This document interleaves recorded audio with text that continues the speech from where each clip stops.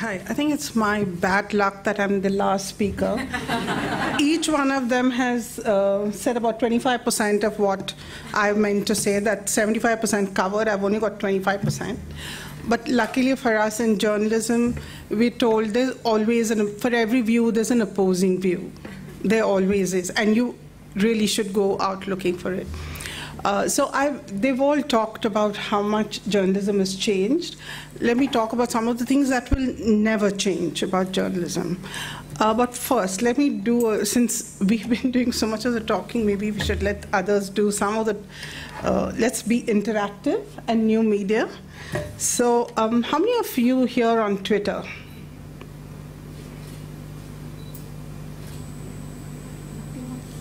Okay. How many of you use Twitter language, U for YOU, DIS for this, when you're on Twitter?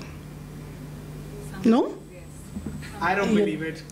No, I, I don't. But He's very old school. Sometimes, yes. Not one hand going up here?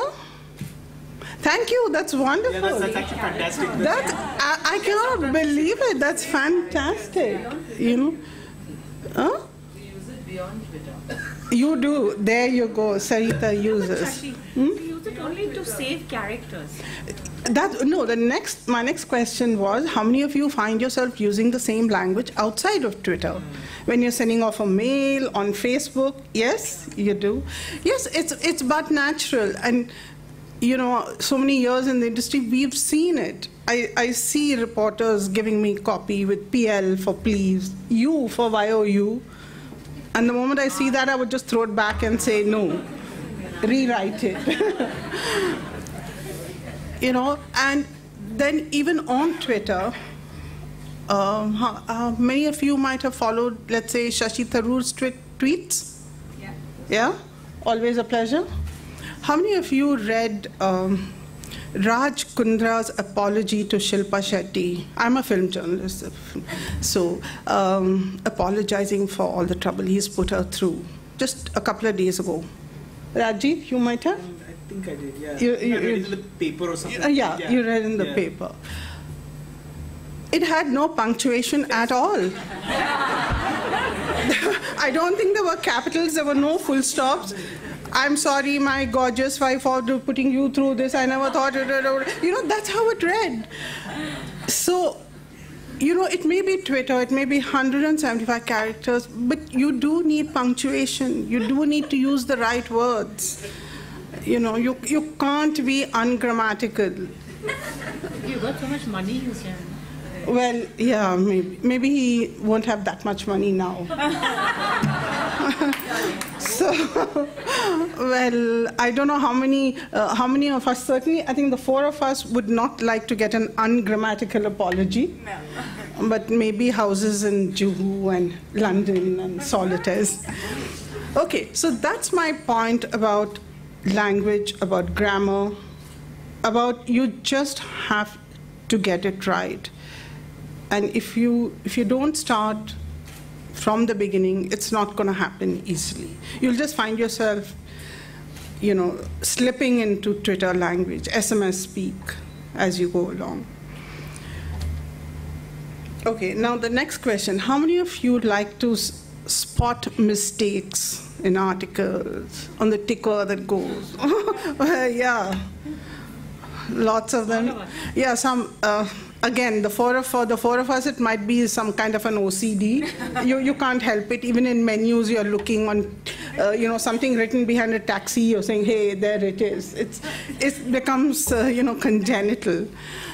But look, the number of you who put up your hands for that.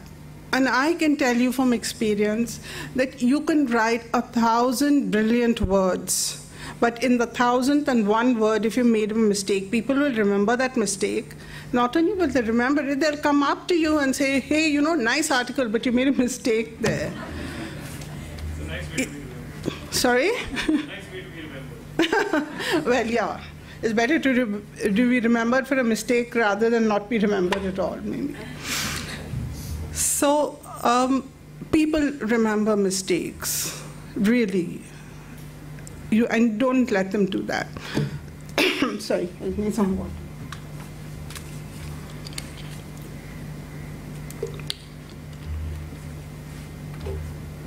Now, the next question would be, how many of you believe that the news you read or hear in our leading papers and channels is accurate and fair? Nobody. One hand at least. no one. Okay, there's hope for.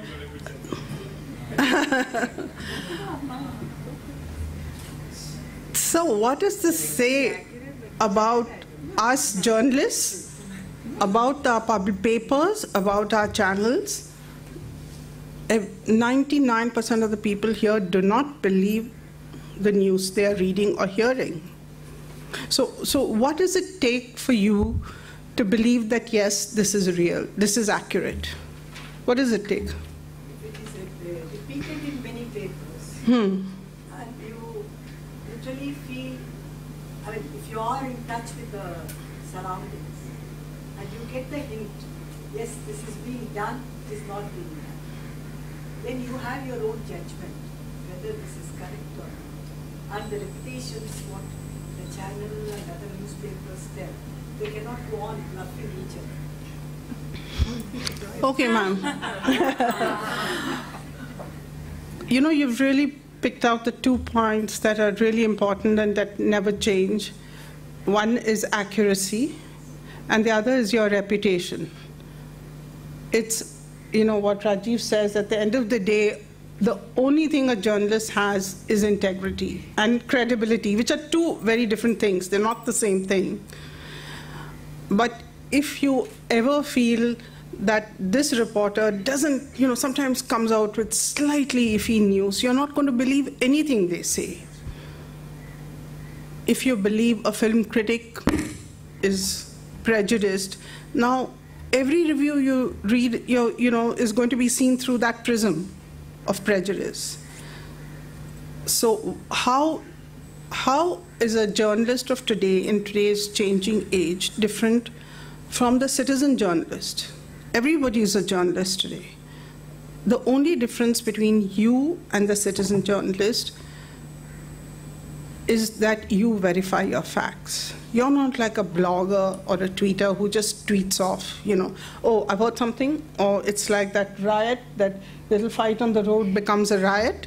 That's the difference between you and everyone else who's a journalist. You're, you are the, you've got to be the better journalist. You've got to be accurate, you've got to verify what you've said, and you've got to be fair. Now, uh, all of us, you know what it's like in the online space. In uh, journalism, it said opinion is free, facts are sacred.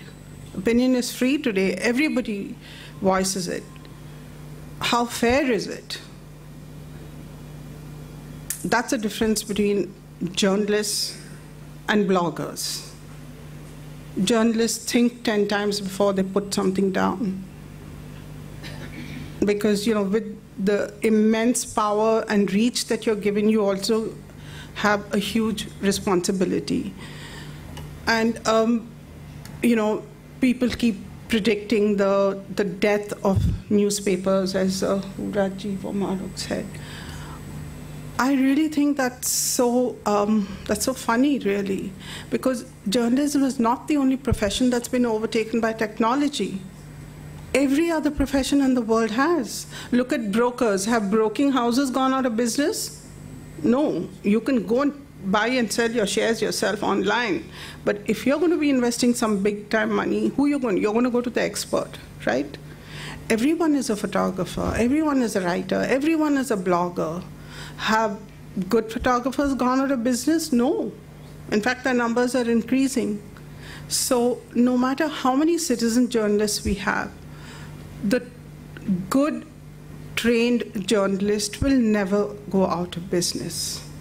And you're lucky, we are lucky to be in India where uh, it's not only an exciting time for journalists, it's also um, a very we are the only country in which print journalism and newspapers are growing.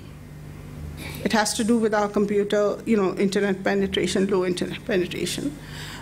And a lot of the growth is in the regional papers. But even so, even our English language papers are growing. So who the hell said print journalism is going to dead? No, uh, Carol said 39 years. I might give it 19 years, but you still got 90. It's, none of the papers have died. And, um, you know, so many of them, Newsweek, for example, has uh, stopped its print publication and gone on. Or do you see it as uh, evolving. evolving? Do you see it as a new avatar? Do you see it as rejuvenation? Because bringing out a print publication involves huge amounts of money. And that's part of the reason why a lot of journalists are not paid that well. but the people who get in the money are paid much better. But once you don't have to spend that kind of money on your physical infrastructure, it gives you that much more money to go out and get more news, to have more reporters. So to say that Newsweek has suspended its print edition and gone online need not be seen as death. And it's the same reporters. It's the same reporters. Eh, I don't think any reporter today can afford to see themselves as only print or TV. You've or online. You've really got to do a, know the basics of all of them. You've got to know just the basics because just in case you have to go out there and do something like that. A lot of uh, publications now um, make it mandatory for the reporter to also file an online story, also do an interview. You, you have to multitask. So uh, the more you have to work, the more your basics have to be good. And one of the, the basics I talked about were just the skills and your craft. Uh, but the other part of it is uh, what Rajeev talked about. Why do you want to be a journalist? You really need to ask yourself that question. And if you have the makings of the journalist, you will be a rather inconvenient person. You will ask inconvenient questions. You will not believe people when you will not take people at face value you will not necessarily believe everything they say. Uh, you, you will want to get to the bottom of things. And you must like meeting people. You can, you can hate some people, but you must still like meeting them. Different things. We all have to meet tons of people that we dislike enormously, but you must still enjoy the meeting and finding out why maybe you hate that person and why maybe others don't, or maybe it's the same. So, you know, that's core to being a journalist. And you also have to, in all this, you have to just remember that you've been given immense power. And especially in uh, today's age where uh, journalists have become part activists. Part of it's the result of the kind of society we live in.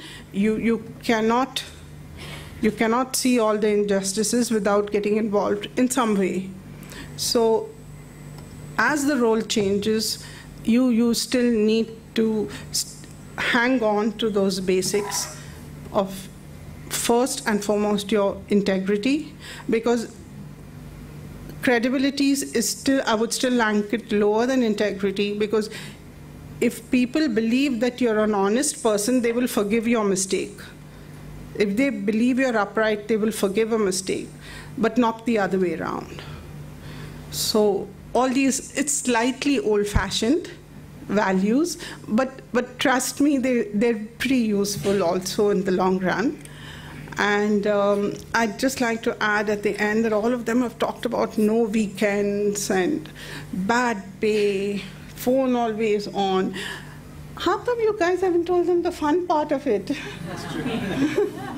We've had fun, otherwise we wouldn't still be here. You know, you, you, you get enormous privileges. You get to meet you get to meet the most interesting people in the world, in the most interesting people in your beat.